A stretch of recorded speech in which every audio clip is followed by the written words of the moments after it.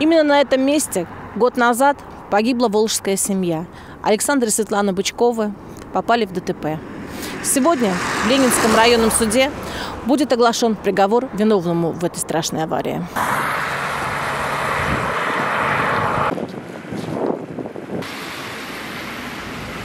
Предлагаю признать разговор виновным совершения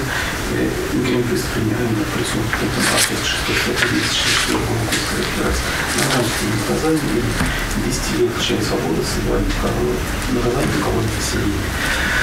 Запретом заниматься деятельностью, управлением транспортными средствами сроком на 2 года.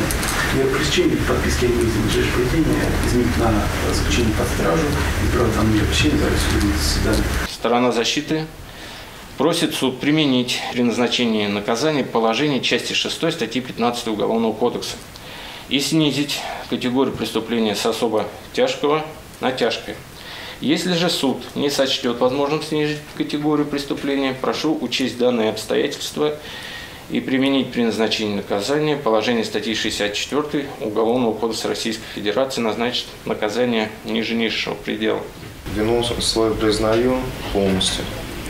Все. Суд приговорил признать Раздрогова Игоря Владимировича, родившегося 6 мая 1983 года, виновным в совершении преступления, предусмотренным пунктом А, часть 6 статьи 264 Уголовного кодекса Российской Федерации, назначенным наказание в виде лишения свободы на срок 8 лет с отбыванием наказания в колонии поселения, с лишением права управлять транспортным средством на срок 2 года.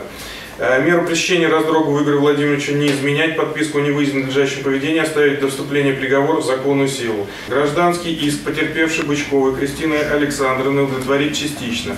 Взыскать с Раздрогова Игоря Владимировича в пользу Бычковой Кристины Александровны возмещение материального ущерба по, э, на погребение в размере 162 514 рублей, компенсацию морального вреда в размере э, 700 тысяч рублей – Э, за смерть Бычкова Александра Михайловича, 700 тысяч рублей за смерть Бычковой Светланы Викторовны. Удовлетворение остальной части исковых требований отказать.